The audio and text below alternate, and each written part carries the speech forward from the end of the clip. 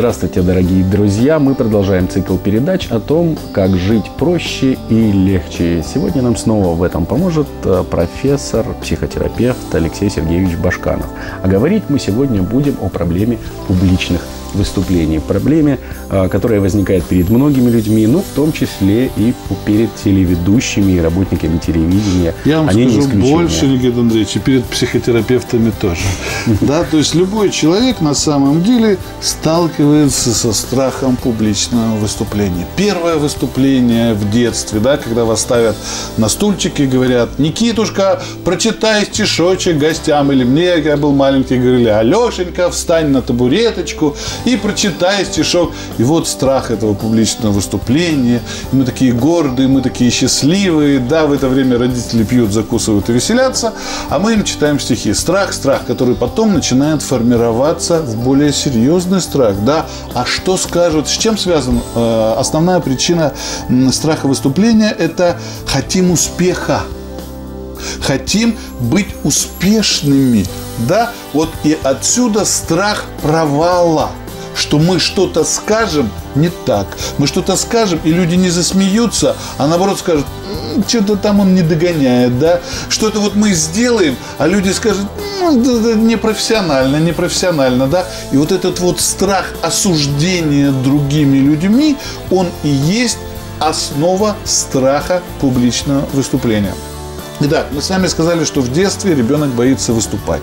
Затем ребенок идет в школу, и не секрет, что во многих классах огромное количество детей боятся отвечать, да, и многие переходят на письменное задание, когда учителя это прекрасно знают, когда учителя дают просто задания, да, потому что ребенок боится, девочка или мальчик, они боятся в школе э, отвечать. Они знают ответ на урок, да, они все учили, но страх того, что их засмеют ученики, подколят, а в каждом классе всегда есть кто-то, кто умеет подкалывать, кто делает это очень заковыристо, да?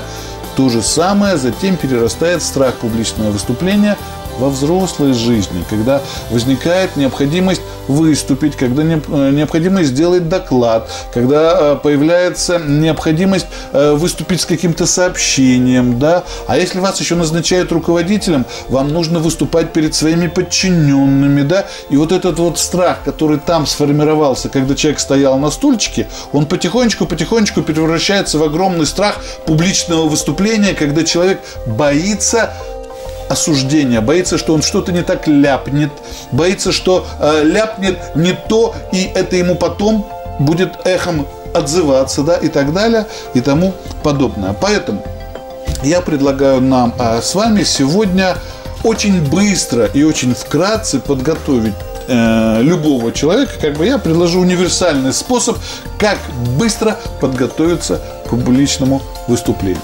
Давайте попробуем. То есть есть какой-то простой алгоритм, да? Вот, есть, да, очень простой алгоритм, можно... который я сейчас предложу. Но, уважаемые телезрители, вы должны понимать, что если вы действительно хотите по-взрослому, что называется, подготовиться к публичному выступлению и избавиться навсегда от этого страха, приходите к психотерапевту, мы вам поможем, да?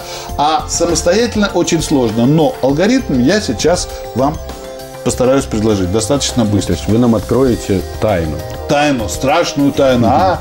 Итак, Страх выступления мы можем разбить, э, или само выступление мы можем разбить на три части. Первая часть очень важна. Это то, что огромное количество людей пропускает, а именно подготовка к выступлению.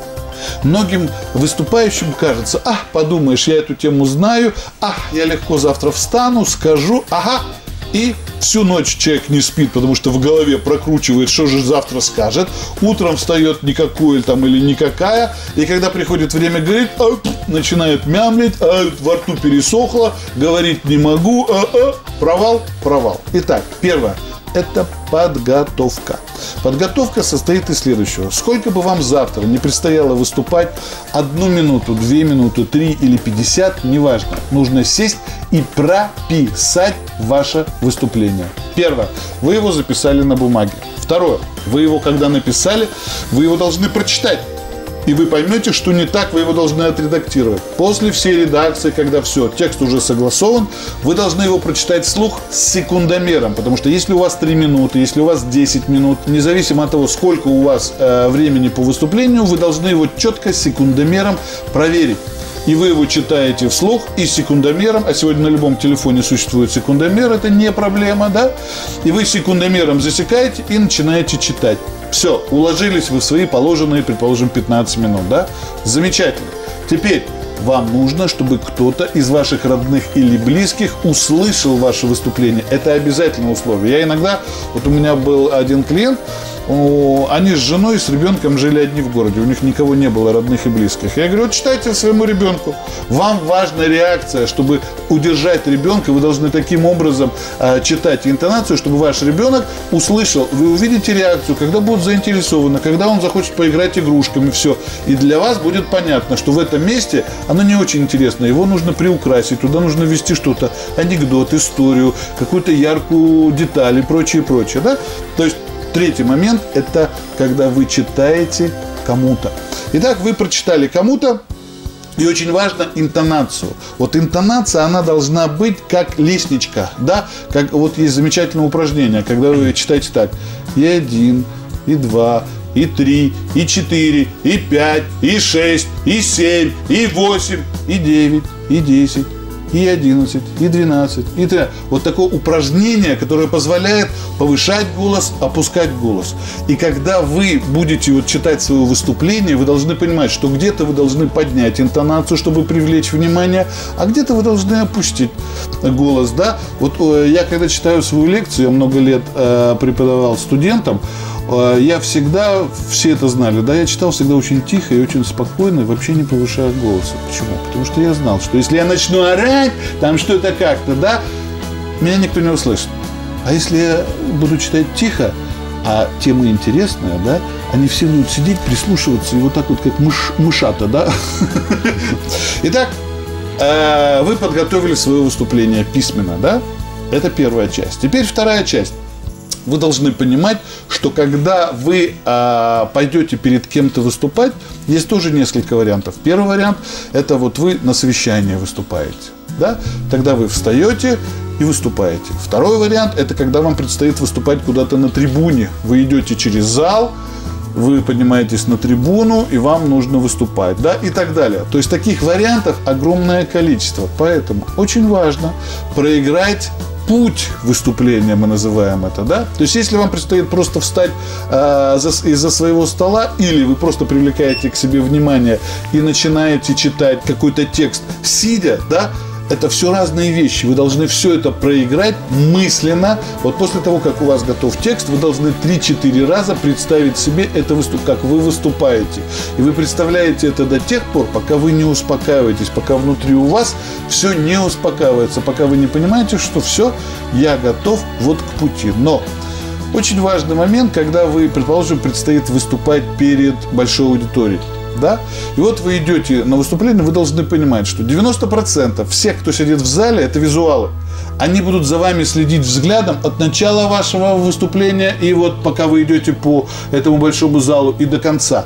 Им очень важно вас увидеть. Потом они, вы встанете, и они будут на вас смотреть, чтобы у них потом была возможность обсуждать, как вы стояли, в чем вы были одеты, что у вас так, что у вас не так и прочее, и прочее. Да? То есть внешний вид – вот это очень важно, да, многие люди не отдают внимания своему внешнему виду, да, или небрежная одежда, или одеты как-то в разбой, да, то есть вы даете повод людям вас пообсуждать. Если это ровная деловая одежда, все, повода ну для обсуждения вашей одежды нет, да, вы одеты ровно, но никак не обсудить, да, все скажут, ну вот все, серо был одет там, или сера была одета, все, это, это замечательно, да, очень хорошо. А, второй момент, когда вы идете непосредственно на выступление, для того, чтобы у вас идет волнение, да, и вот для того, чтобы перестать волноваться, есть очень хорошее упражнение, сжимаем кулаки. Вот вы идете, руки вниз, никто на ваши кулаки не смотрит, потому что все смотрят на вас. Вот попробуйте сейчас, Никита Андреевич, вниз mm-hmm. руки, да, и пожимайте, сильно пожимайте, сильно, быстро, быстро, быстро, быстро, быстро, вот пожимайте вот внизу там, пожимайте, пожимайте, пожимайте, вот внизу. Перестали. Чувствуете, какие горячие руки? Ну, вот вся кровь сейчас пошла вниз, в руки. Она от э, головы оттекла к рукам. Да, в голове чуть поменьше крови, все у рук. все, у вас в голове очень спокойно, вы знаете, такое у состояние такого спокойствия, я в танке, мне хорошо и спокойно, да? Вот очень простое упражнение, но очень действенное, когда вы из одного органа кровь перекачиваете в другую в руки, да? Очень хорошее упражнение. Вы на трибуне, и вам предстоит выступать. Вот тут третий момент очень важный, непосредственно само выступление. Очень важно, чтобы человек научился улыбаться. Ну, давайте мы с вами сейчас, Никита Андреевич, поучимся улыбаться. Давайте улыбнемся нашим телезрителям. Давайте вот добрую улыбку. Вот, вот такая улыбка и у вас, и у меня должна быть, когда мы собираемся перед кем-то выступить. Да, такая добрая, спокойная, все, располагающая улыбка, да. Вот свое выступление, когда вы встали на трибуне, или когда вы встали из-за стола, или где-то, или сидите, проводите конференцию, неважно, начинать нужно с улыбки. Очень многие руководители берут на вооружение другое. Они берут вот такое вооружение лица, губу вперед, там что-нибудь такое, челюсть вперед, там что-нибудь такое напряженное, руку вот так поставить, да, или вот так вот две руки поставить, да. То есть это сигнал всем, ну все, сейчас я буду вас любить. Да, поэтому можно ну, и таким образом как бы переложить часть энергии из себя, с выступающего, на тех, кто вас будет слушать. Все зависит от того, перед кем вы будете выступать и кто вас будет слушать. Да? Итак, но я предлагаю как бы улыбнуться. То есть вы улыбнулись, затем вы должны поприветствовать добрый день, уважаемые телезрители, э, или добрый день, там, собравшиеся здесь, да, все, Дальше идет тема. Очень важно преподнести свою тему. И я всегда а, всем выступающим, даже если это очень какое-то серьезное мероприятие, то в каждом серьезном выступлении должно быть три, ну, до трех шуток одна шутка в начале, одна шутка в середине и одна шутка в конце. Тогда это э, смотрибельно, и тогда это усваивается народом. Да? И тогда народ понимает, ага, у человека хорошее чувство юмора, ага, человеку можно доверять, ага, он или она нам нравится. А если человек не умеет шутить? Вот не умеет и все. Не, не надо. Не умеет шутить и не надо. Если человек не умеет шутить, не надо себя насиловать, уважаемые телезрители. Тогда залезаем в интернет и находим там какое-нибудь умное выражение, э, находим какие-нибудь умные чьи-то слова, да, то есть какая-то умная фраза. Тогда три умные фразы. Будьте добры в своем э, изложении, в своем выступлении. То есть начать с умной фразы. Да? Я, например, когда экзамены сдавал, я всегда использовал эту методику. У меня мама учительница, она меня научила. Вот ты какую-нибудь умную фразу скажи, а потом скажи, что это э, автор такой-то ни один уважающий себя учитель или кто-то это вот всех высказываний не помнит. Поэтому они скажут, о, да. И так это всегда и прокатывало, да, и все говорили, о, да, да. Я говорил, там, вот как сказал то-то, то, вот то-то, то. Все говорят, о, да, да. Внутри я всегда смеялся, но это всегда прокатывало, да. Вот то же самое здесь. Вы можете на выступлении сказать, что, как, как сказал авторитетный человек то-то, то-то, то-то, то-то, да, и вы сразу привлечете к себе внимание. На авторитетного человека вы привлечете к себе внимание. Вы опять начнете говорить какие-то скучные вещи, и люди опять начнут засыпать, вы опять что-то вставили, опять привлекли к себе внимание, да, все. И, наконец, последняя часть выступления – это финал. Финал – это всегда должно быть достаточно зрелищно, достаточно запоминающаяся, сжатая форма. То есть, краткая форма резюме. Итак, как вывод – ты, ты, ты. Пункт первый, пункт второй, пункт третий. Все. На этом ваше публичное выступление заканчивается, и вы с этого момента начинаете чувствовать свою уверенность и не боитесь выступать. Ну что ж, дорогие друзья, Алексей Сергеевич, на этом будем заканчивать. Надеюсь, что у вас э, после нашей передачи будет меньше проблем с публичными выступлениями, а мы встретимся в нашем эфире снова и сделаем нашу жизнь легкой и простой. А я напоминаю, что любую проблему можно решить двумя способами. Либо с помощью головы, либо с помощью сердца. Всем привет. До свидания.